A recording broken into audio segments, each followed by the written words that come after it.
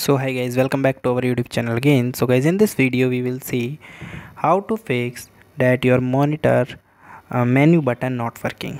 So guys if you're facing such type of error that your um, menu button is not working so guys you are not alone. Many have users having this issue and in this video we'll find some relevant way to resolve this issue. Okay? So guys let's start.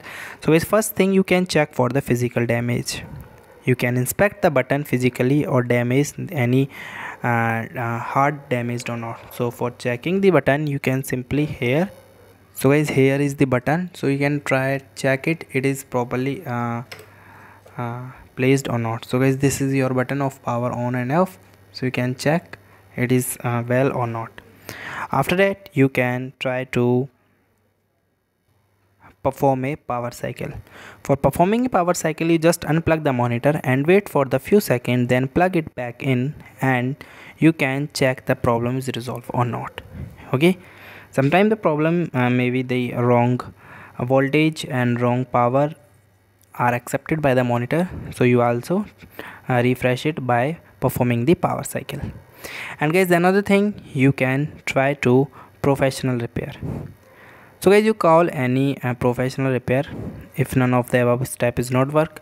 So we have the two option for contacting the uh, any uh, customer support. First of all we can uh, go to any browser like chrome. And here we uh, can simply search the Acer support like here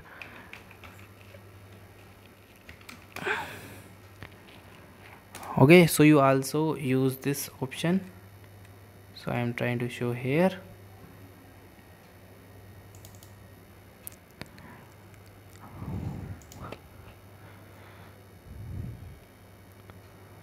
So you also search your topic here and uh, you can uh, uh, check it.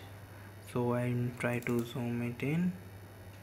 Then you can go downward and here you get the different type of options for supports. Here is the option of repair so you can click on repair. And uh, you can here you can raise your request and many more things. So guys this is the way for resolving this problem. So guys thank you and have a nice day and subscribe our youtube channel for the further information